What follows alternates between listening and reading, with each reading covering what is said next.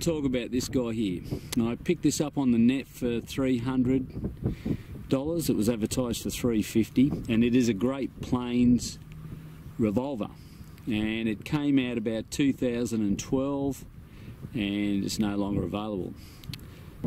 So I bought the motor mount for the 5055 and then that's when I realised I had the wrong manual. So I went back, downloaded the correct manual, put the wings on it and measured it and I didn't have the 1750, I had the 1500. So the 1750 looked like that plane, the 1500 looked like a little kid's plane. Anyway, never mind. So had to do some sexy modifications to the motor mount to get the right dimension because it's a big motor, big, um, big motor mount. So I turned the motor mount around, I cut the bracket off, I had to make a spacer because it's wider and there's two bits of balsa that or ply that come out so I had to move that off the off the firewall and uh, bolted it all up then aligned it all and uh, there she is. So she had the wheel pants were loose the wheels were seized on it there was a hornet's nest inside underneath the canopy.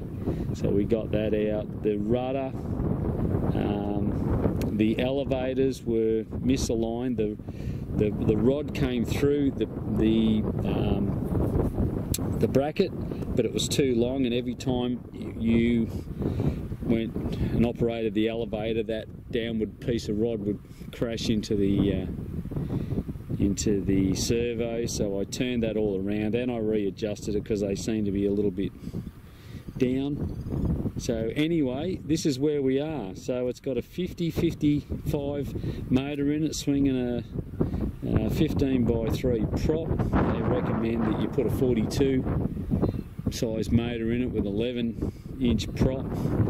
They also recommend you run it on 6 cell. I'm going to try it on a 4 cell just because I've got a bigger motor and, and an end. So we'll see how we go. Um, yeah let's shut up and let's go. We're running the FrSky long range receiver. I had to, I don't know whether you can see in there, but that's the that's the pin for this linkage arm, so it had to turn it up rather than cut it off. All the electrics are still there from the old nitro days, even the big um, throttle ESCs down in there. But uh, had to make up a big set of leads to come around here to get out from the ESC. The ESC is tucked up underneath it. Uh, I had to put a screw in here to get that sorted, but anyway, she's all together. So what we're going to do is we're going to take her up and see how she goes. We're going to run a uh, we're going to run a Hi-Tech 4500 four banger in there. Just see how she goes with that. See how she's powered. So there she is there all set up.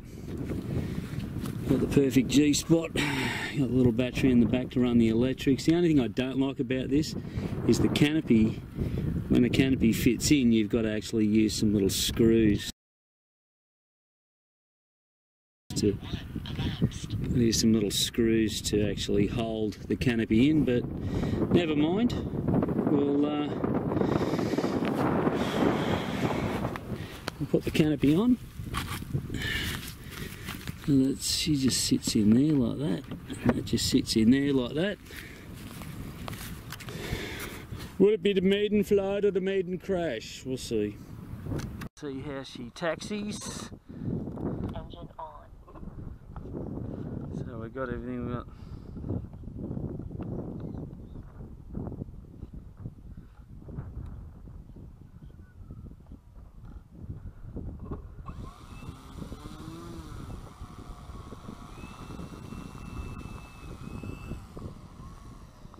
Looks nice, doesn't it?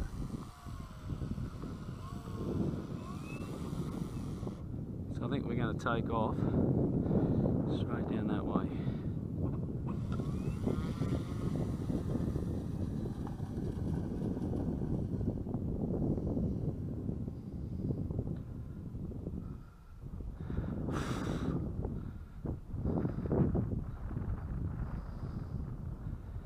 All right.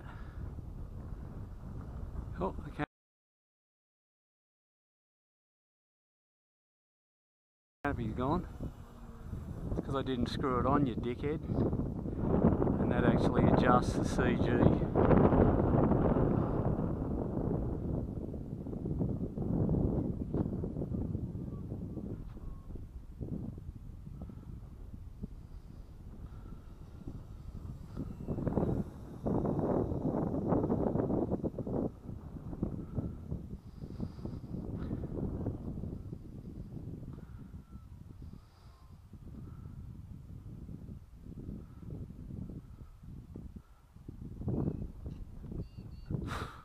Engine off.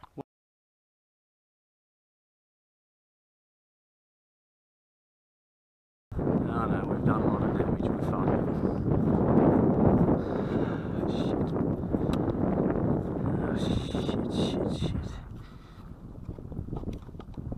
Ah, I knew I should have done that. I fucking knew it.